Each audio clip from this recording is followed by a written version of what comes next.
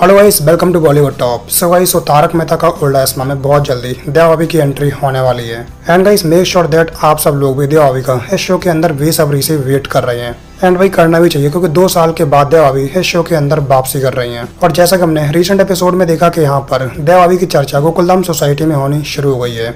यानी कि गड़ा फैमिली में इस समय नवरात्रि के फेस्टिवल की तैयारियाँ शुरू हो चुकी हैं, जहाँ पर हमने टप्पू बापू जी और जेठलाल को गरबा खेलते हुए देखा। तो इस आने वाली स्टोरी में यहाँ पे जेठलाल देवावी को काफ़ी मिस करेगा। एंड उसके साथ ही वो डिसाइड करेगा कि अगर इस बार देवावी गोकुलधाम सोसाइटी में आकर गरबा नहीं खेलेंगी तो इस बार जेठलाल भी उनके बिना गरबा नहीं खेलेगा। जिसके बाद के यहाँ पर गोकुलधाम के मेंबर्स इस बात की इन्फॉर्मेशन देंगे सुंदरलाल को। एंड सुंदरलाल देवावी को गोकुलधाम सोसाइटी में लाने वाला है। लेकिन गाइस यहाँ पे ये बात तो कन्फर्म है कि अब देवावी के साथ साथ सुंदरलाल भी वापस से इस शो के अंदर देखने को मिलने वाले हैं। भाई काफ़ी टाइम हो गया कि सुंदरलाल को इस शो में नहीं दिखा गया। यानी कि बीच बीच में उनके कुछ सीन थे जो कि दिखाए गए। लेकिन परमानेंटली वो इस शो के अंदर कभी नहीं रहे। लेकिन जब पहले देवावी इस शो के अंदर थी तो उस समय ज़्यादातर स्टोरी सुंदरलाल के ऊपर भी बनती थी। लेकिन जब से देवावी इस शो से बाहर हुई है, तब से सुंदरलाल के ऊपर स्टोरी बननी बंद हो गई। तो ये देखते हैं कि आखिरकार सुंदरलाल देवावी गोकुलधाम सोसाइटी में आकर जेठालाल के ऊपर कौन सी नई मुसीबत लाते हैं। एंड यहाँ पे देवावी की एंट्री इतनी ईजी गोकुलधाम सोसाइटी में हो जाए,